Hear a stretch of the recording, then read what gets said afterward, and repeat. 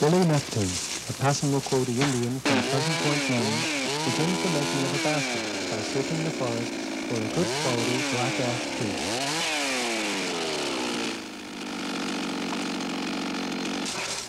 The log is measured and cut to a suitable length for the intended basket.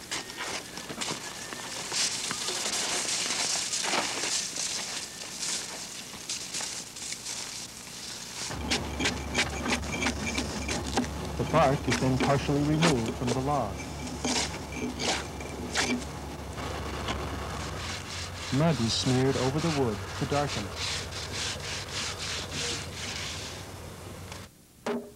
The log is pounded with the back of a heavy axe to crush the soft fibers between the growth rings, causing the wood to separate into layers. Each blow must overlap the previous one so that every square inch of the log is pounded. The mud allows the worker to clearly see the position of each blow. When the pounding is completed, the layers of wood are peeled away.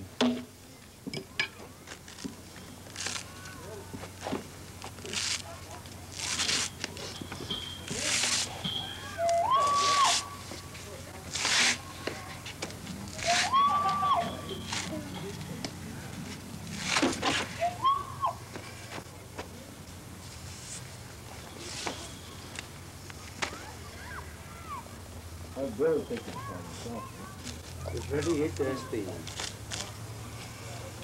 For the Russian spies.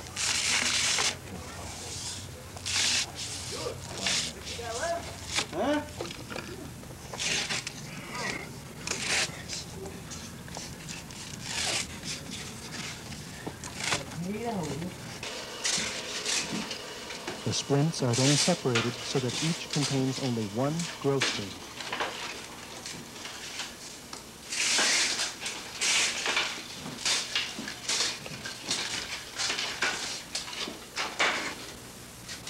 Splints for the weavers or woven elements of the basket are cut with a gauge made of several metal blades set into a wooden handle. These gauges are made in various sizes to cut splints from 1 16th to 1 half inch wide.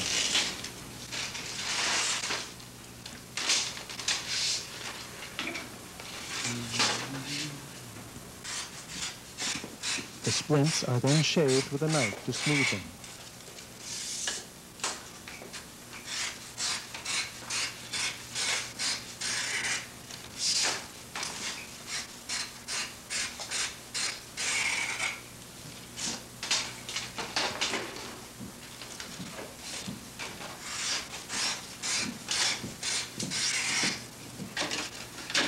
The weaving is begun by laying out the standards for the bottom of the basket.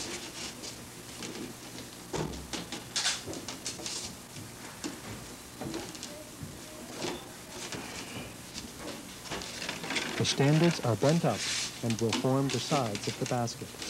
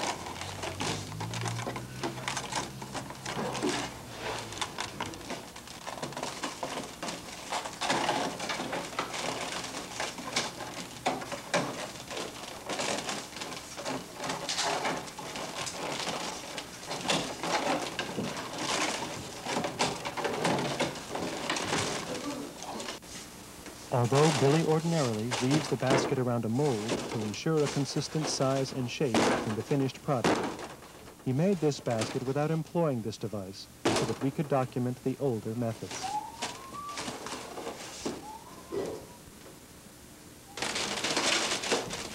The standards are cut so that the ends can be tucked under the weavers.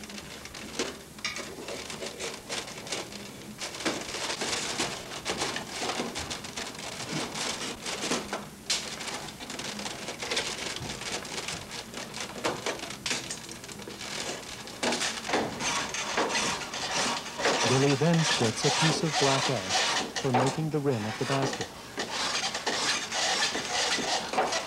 The rim is held firmly in an ancient clamping device called a shaving head and shaped with a draw knife.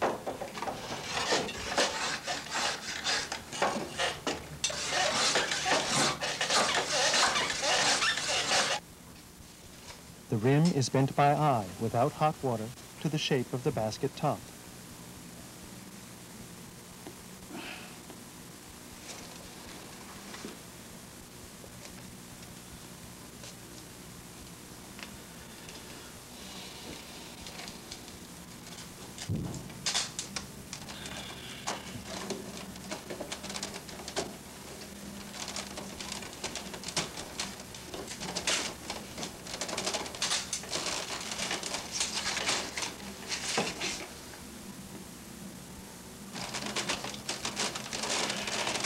Although many modern baskets have a rim that is nailed in place, Billy prefers to lash it with a strip of black ash. This is the traditional way of his people.